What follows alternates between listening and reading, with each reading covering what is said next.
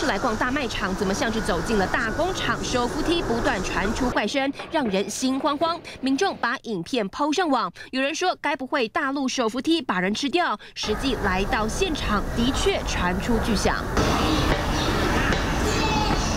有妈妈带着小孩东看看西看看，就是不敢踏出一步。对啊，会觉得很恐怖。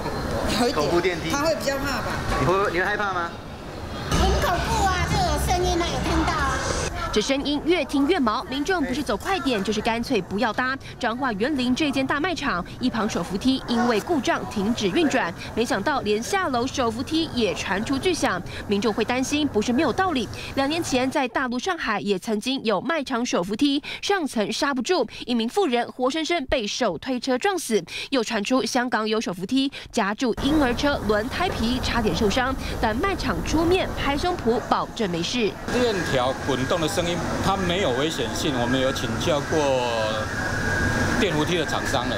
卖场强调每个月定期保养，安全无虞。而网络上有民众担心吃人电梯，刻意拍摄搞怪哭诉影片，搭电梯要踏不敢踏，或者是沿着墙面从旁边穿过，刻意避开第二块沉降板。因为一般来说，手扶梯沉降板第二块镂空才能让技师有作业空间。但实际观察，一般民众虽然不会特别避开，但手扶梯发出怪声，踩上去难免还是让人心惊胆战。记者陈梦回彰化报道。